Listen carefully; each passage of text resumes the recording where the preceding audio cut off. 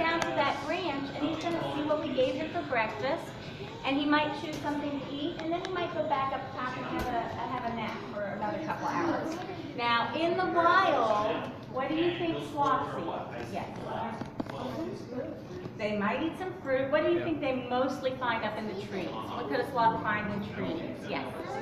Well, they might eat a bug, but what are the bugs sitting on in the trees?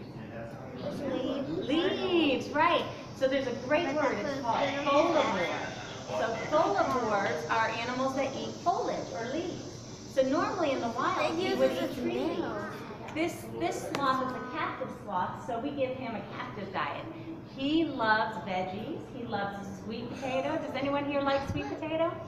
Yeah, he loves his sweet potato. Be still, it's Did you know okay. sweet They're not gonna has bite. a lot of sugar in it, but it also has a lot of fiber. And fiber is the same thing that leaves have. He also loves grapes. He likes grapes. Just let him Yeah, he loves grapes. He eats a little bit of a canned diet. So look what he's got. What do you think he's got right here? Cantaloupe. He's got a sweet potato. That's right. That's okay. You just let it go. Sit over here.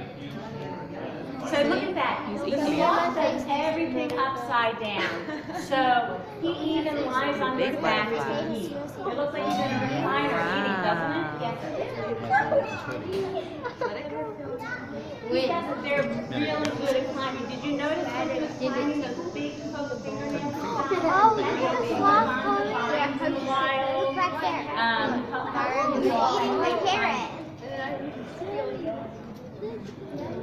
this is, this is a great view. You guys are really lucky to, did anyone notice that it looks fun?